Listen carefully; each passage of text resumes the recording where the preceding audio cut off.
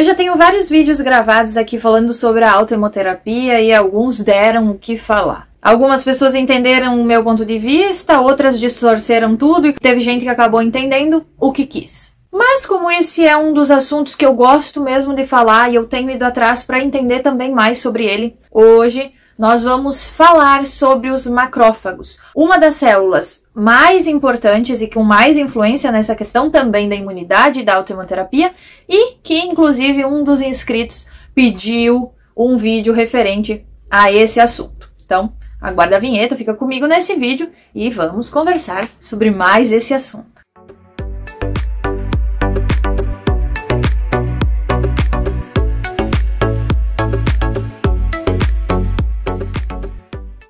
Pessoal, bem-vindos novamente ao meu canal. Eu sou a Vivi, sou biomédica, mestre em fisiologia humana e doutoranda em naturopatia. E como sempre, é um prazer estar aqui para falarmos novamente sobre outro assunto relacionado à área da saúde. O assunto do vídeo de hoje foi solicitado por um dos inscritos aqui do canal, mas espero que todos vocês gostem e vamos logo conversar e entender sobre os macrófagos. Isso que está aparecendo agora aqui na telinha para vocês é uma imagem de monócitos e macrófagos. O que, que eles são? Eles são células do sistema imunológico. Os monócitos, eles são precursores do macrófago. Macrófago é o nome que o monócito recebe quando ele migra para a região que tem bactérias e começa a fagocitar a bactéria, que ele engloba a bactéria, tem um videozinho aí passando, ele engloba a bactéria e digere ela, porque dentro dele muitas enzimas que vão causar a destruição dessa bactéria. Não é só bactéria, né? Geralmente é bactéria, mas também outros micro-organismos. Então, eles são essenciais para nosso sistema imunológico.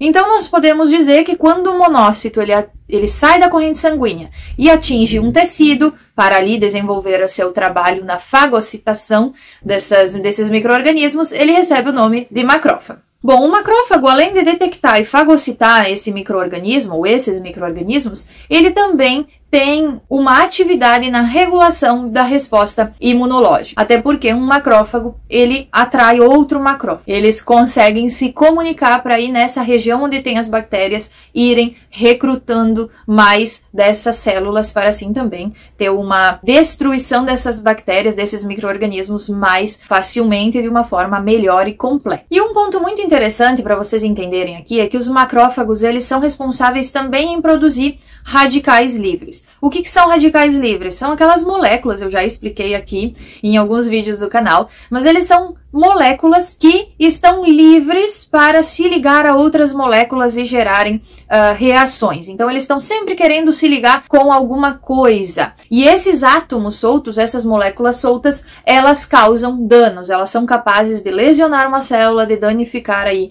um tecido. Tem essa ação, né? Esses radicais livres, eles têm essa ação uh, inflamatória e de dano envolvendo o local onde estão presentes. É, os radicais livres eles estão também associados com as espécies reativas de oxigênio, é, também as espécies reativas de nitrogênio, derivados do nitrogênio. Então, nós temos vários radicais livres circulando no nosso organismo e muitos deles são formados a partir do próprio macrófago. Nós temos dois tipos de macrófagos, tá? O M1 e o M2. E eles são diferentes, né? Que parece a, a bananas de pijamas, né? Mas ao invés é o M1 M2. O M1 ele vai ser responsável, ele vai ser pró-inflamatório ele vai estar tá lá ativo para destruir bactérias, micro-organismos, fagocitar esses micro-organismos ou partículas estranhas que estejam aí no meio onde não deve estar. Eles são responsáveis por chegar e metendo o pé na porta, invadindo aí, destruindo o que precisa ser destruído. Então eles são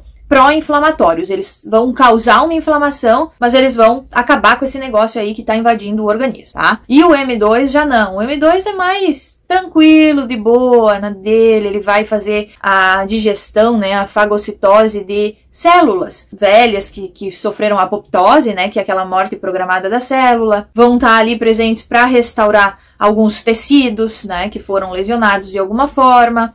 Então, uh, vai estar tá ali para arrumar uma bagunça, né? Enquanto o M1 entra para destruir tudo e bagunçar, claro, em benefício do corpo, mas vai gerar um caos ali. O M2 entra para tranquilizar todo mundo, de boas, cheguei, vamos ajeitar esse negócio. Assim, claro que ambos trabalham juntos, tá? O M1 e o M2 também vão estar no nosso organismo presente. Não é que vai ter só um, não é que vai ter só outro, tá? Claro, por, até mesmo porque se nós pensarmos, o M1 vai causando ali, é, vai gerando ali um caos e o M2 depois vem para então fazer essa limpeza, restaurar tecidos que possam ter sido danificados por aqueles radicais livres, né? Ali, enfim, toda essa questão. Então, os macrófagos, eles têm essa atividade principal. Por que, que eu abordei mais eles, né? A nossa terapia complementar da autoemoterapia, ela vai também ajudar né, como ela vai influenciar nesse aumento do sistema imunológico, né, nessa, nesse fortalecimento desse sistema e também no fortalecimento de outros sistemas do organismo, porque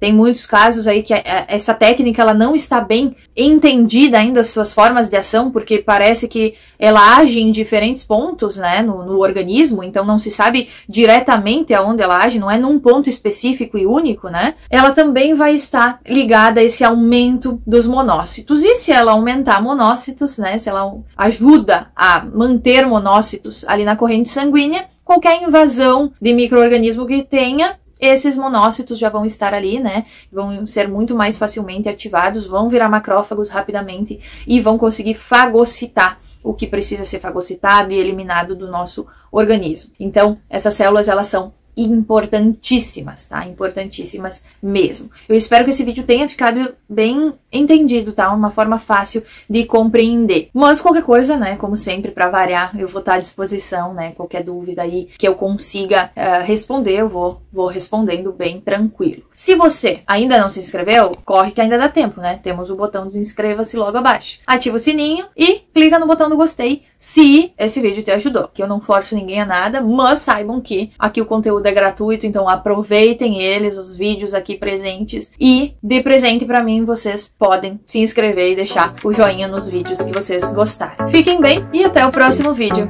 se Deus quiser.